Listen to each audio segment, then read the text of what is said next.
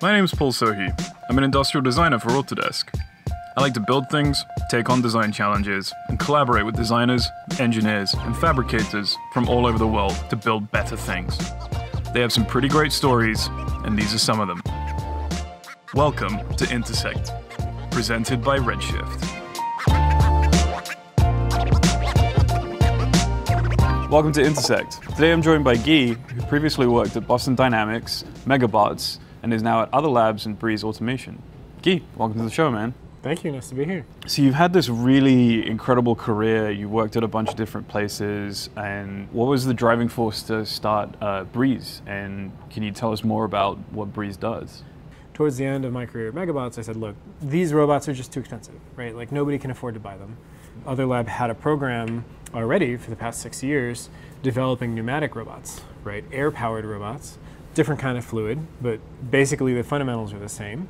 The math is a lot harder, right? That's fluid dynamics suck. Yeah, uh, yeah, exactly.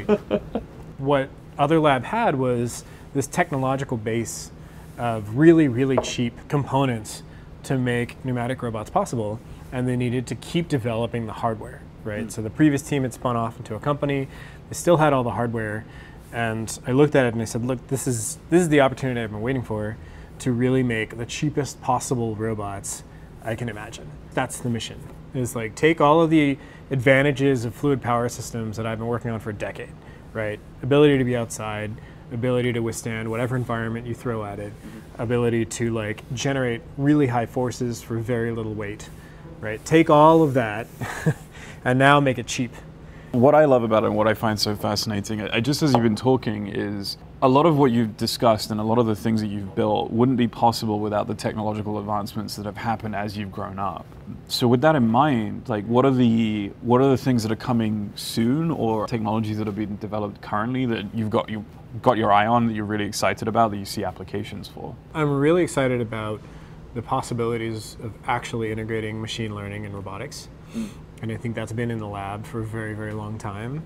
Um, and I think there were some pretty hilarious uh, missteps early on where you know people say things like i don't need any of this classical education on like how systems actually move in the real world. I'll learn it all from first principles. And then you have a machine sitting there learning from first principles for decades. And now people are finally saying like oh hey maybe all of those classical controls that make robots work that have been worked out for like the past 80 years might be the launching point to actually do the learning we want. Right. Right. And so now you're kind of finally seeing people like get grounded in the reality of how robots work and get grounded in the reality of what machine learning is capable of. Mm. You're starting to see them mix, and you're starting to see some like really, really impressive results. You talked a little bit about the um, the challenges and primarily from like a kind of financial perspective and how that yeah. limits what you do. But beyond that, like what are the other kind of challenges that you've been faced with Breeze? The robots that we're working on are inflatable. They're pneumatic and hydraulic robots where the actuation isn't from like a hydraulic cylinder with a rod that comes out and pushes really hard on something else. Mm-hmm. It's actually from these like chambers of fabric, right? In the in the interest of pursuing very cheap things, right? You like inflate a chamber of fabric and it moves your robot, mm-hmm. right? And that means two big things. One is that turns out actually inflating in only the direction you want is really hard. like when you inflate something, it wants to go everywhere. It wants right? to be a sphere, yeah. right? You don't spheres aren't that useful, right? So trying to harness inflation as an actuation source is like mm. really absurdly hard, both from a theoretical perspective and in the reality of like, oh my god, it's just a balloon. Why don't you do what I want, right? like, so that's one. Um, but the other part is that we've kind of, as a society, built this entire technological tool chain. Mm-hmm for basically things that look like milling machines in the 50s. Milling machines in the 50s wanted to remove thousandths of an inch of material quickly and precisely, right? And so the kind of evolution of the gear motor of like a rotary encoder on the back of a motor with a gearbox in front, driving a thing and attached very, very rigidly mm. to your system has been the modality for all industrial robots since those machines came out. Mm. So you have this system that's designed to be really, really rigid at all times, right? And then it turns out animals and humans are like orthogonal to that, right? like we don't care about precision at all. We care about like gentle contact forces. We care about balance. And if you take a machine who's who's been designed entirely for precision, and you take it outside, and you're like, pick me that apple off a tree that's swaying in the wind, like plus or minus a foot.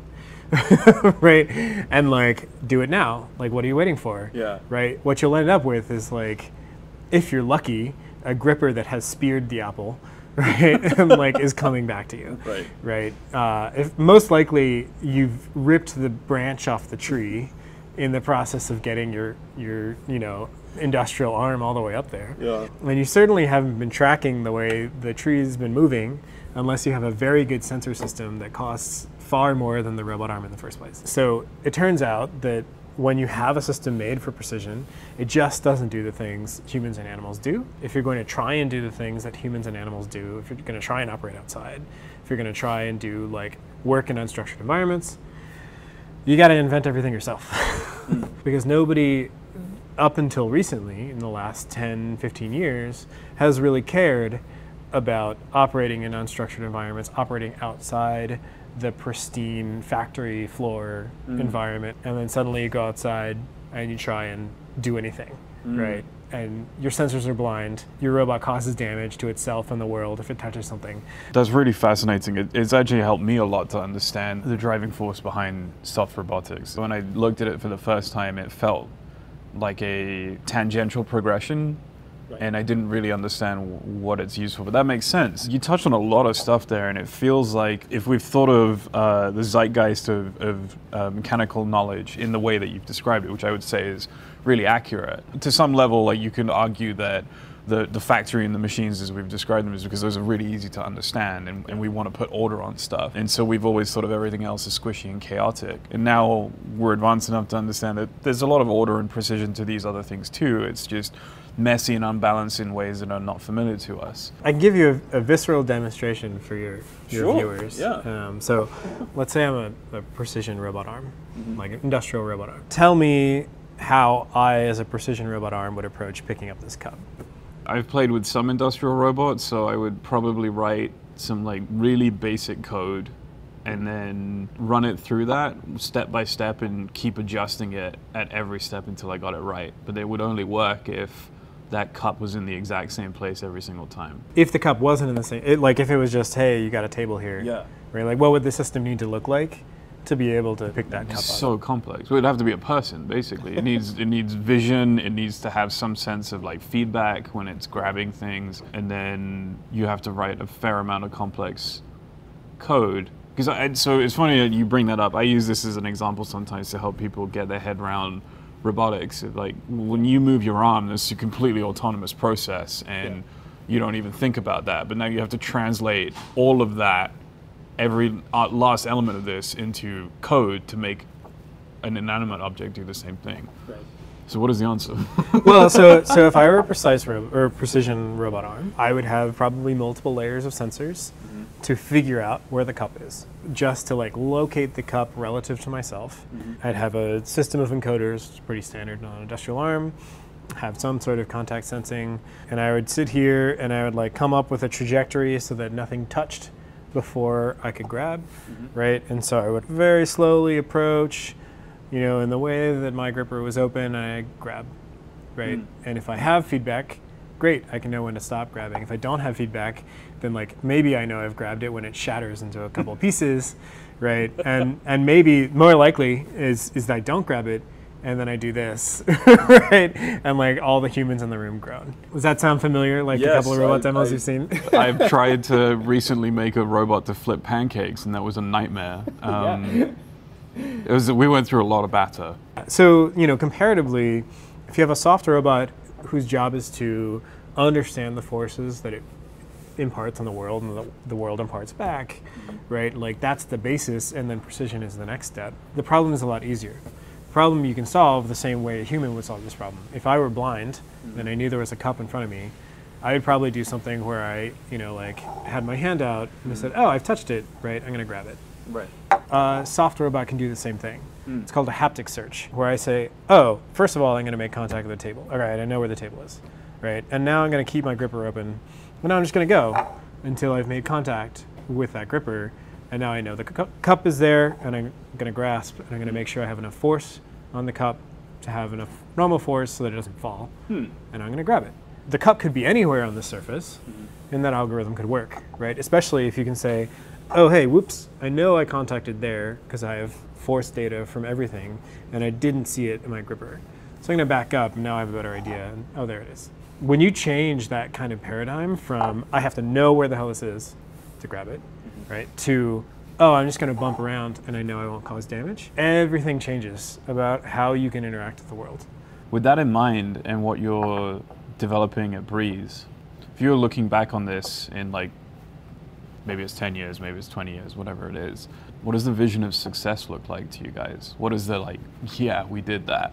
cheap robots out in the world doing really hard tasks that current robots can't do right so for example there is no like small underwater robot arm right now if you want robot arms underwater you have a 5000 pound minivan sized robot with its own boat right and that boat is $200000 a day to go somewhere drop the minivan in the water and use excavator arms to try and do something right? Wow. And we have operators who've told us like, yeah, it takes us an hour to like see a rock on the seafloor and like get the arm over, pick it up, and then like put it in a box.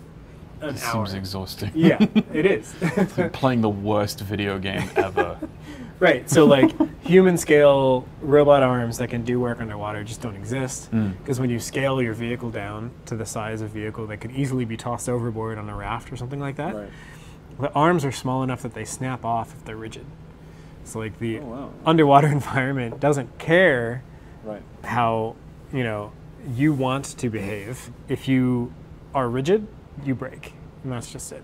So Autodesk has been connected to uh, you for a while in different capacities, whether it was with Megabots, with the uh, with Breeze Automation, and now you're here at the San Francisco Tech Center. And what has that been like? Has how has this space like helped with uh, what you guys are doing, or has it, It- hindered it? You know? No, it's uh, it's been amazing to be here at the technology center. Um, you know, we estimate we've saved like forty to fifty thousand dollars in prototyping costs. Um, because what we're doing is at the, the bleeding edge of hardware, right? Like building our own custom valving uh, and putting it into our own manifolds that, oh, hey, happen to be like structural parts of our own robots, which requires super weirdo shapes and like, um, you know, mechanisms to work. Um, and we can only prototype mass manufacturable processes, which is the ultimate goal, with real tooling. You can't make a mass manufacturable thing cheaply, I guess, Yeah. right? We're, you know, it's it's pretty hard to do it with like low cost processes. So being able to like use a real milling machine, use a real CNC lathe, use all of these printers that are printing at like um, you know strengths of their materials that are realistic to what you could get out of an injection molded process. I think that's what's really letting us do enough hardware iterations to nail down, you know, the stuff that has to like already works in theory, and then when you reduce it to practice, also has to then work in practice, mm. right? And those those steps, the more iterations that you get, the better your final product is. All right, Gui, this has been awesome. Thanks for being on the show. Thanks for having me. Thank you.